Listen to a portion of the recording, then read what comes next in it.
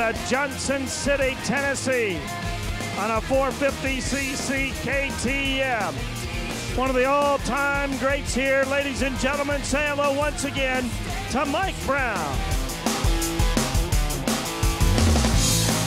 I have won a national here, I think it was on the Yamaha Shoei or 04 maybe, and uh, I've had good races here, you know, some bad races and some good races, but I've been on the podium a few times here and looking forward to the day. You know, I think I can run up up there somewhere. You know, I ain't gonna say I'm in the top 10, but that's the goal. Can you say Red Bud, Michigan? It's a good track, you know, it's one of the better tracks out here and I enjoy riding it and uh, I got rode a 450 here. It's always been the small bike, so now I got to do LaRocco's Leap. That's uh, I've done it back in the day on the 125, and I'm sure it's way different now, but it's a good track to come to. The card is up. We are 30 seconds from the gate clock.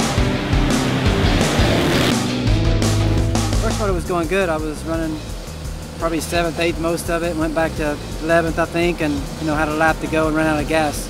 Switched a lot of stuff up on the bike to try to get it to finish the bike on gas. You know, change the ignition and different gas, and it wasn't good for the motor. The motor didn't like the gas, and so I ended up not finishing. I didn't want to break the bike or get hurt out there. So overall, not a good day, but we were here.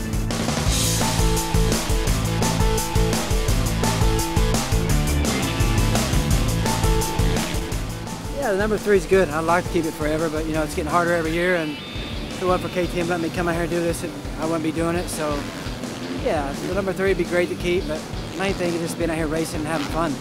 I'll be at uh, next week Millville, maybe Washougal, uh, Southwick, and Lake Elsinore.